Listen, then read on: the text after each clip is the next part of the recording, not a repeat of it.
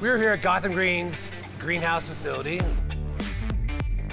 This 30,000 square foot hydroponic facility grows leafy greens and herbs. So in our greenhouse, we actually are not using any soil. So what we do is we actually plant a seed into this substrate, which is made out of volcanic rock. This plant will live in this substrate for the whole time that it's in the greenhouse. So from seed to harvest, it's about 30 days.